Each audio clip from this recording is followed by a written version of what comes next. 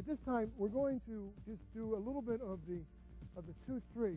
When I say a little bit, is the basic slides of the 2-3 are not that far removed uh, from the 3-2. But again, it's the, it's the concept of what the offense is doing. If the offense is coming down, say, in a 2-2-1 set, uh, you've got a good match going and your slides will be very, very conducive. But most teams are going to come down in a odd set. We don't want two guys on the ball. So what we will do here, we will invert the thought process of the uh, back line in the 3-2 to the front line of the 2-3. There will be an up man on the ball, and he will honor that ball until it is passed off or dribbled off or dished off into another person in the offensive concept.